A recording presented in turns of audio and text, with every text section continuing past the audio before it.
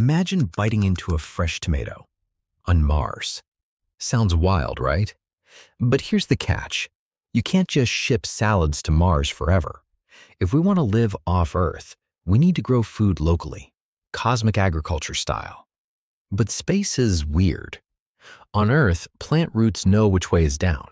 In microgravity, roots get confused. Water floats in blobs, and without gravity, heat and gases just hang around. No natural circulation. So astronauts use clever tricks.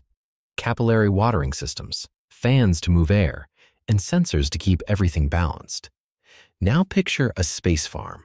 Racks of plants glowing under red and blue LEDs, with a splash of white light for flavor. No soil, just hydroponics or aeroponics, stacked high to save space. Computers monitor nutrients and CO2, but there's a trade-off. All those lights and pumps need power, create heat, and require constant upkeep. Dreaming bigger? Feeding a Mars or lunar colony means tackling partial gravity, cosmic radiation, and gritty dust. Greenhouses must be pressurized and shielded. Every drop of water is recycled, every scrap of waste composted. Forget regular dirt.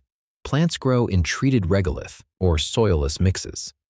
And the whole system runs on solar or nuclear energy, scaling up from leafy greens to real staples.